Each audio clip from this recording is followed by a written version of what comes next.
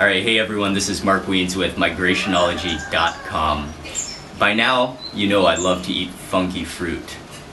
But today, I'm going to introduce you to something known as the champada.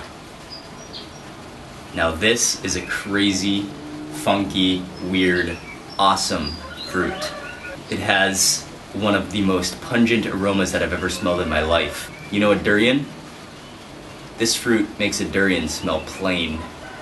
It smells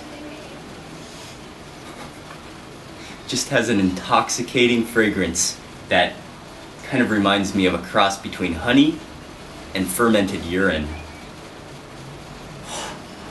I love it. I love it. We're gonna eat this champada today. Now it's sappy and sticky, quite similar to a jackfruit, but quite different as well. Can you see that? Isn't it beautiful?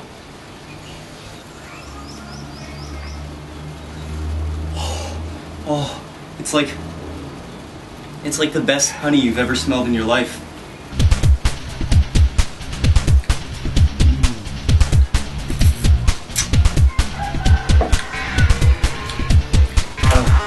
That that is amazing.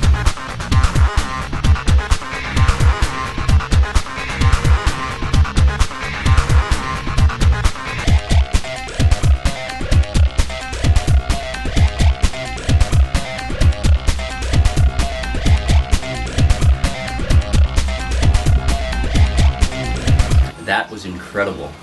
That's one of my favorite fruits in the entire world, and it's called a champada.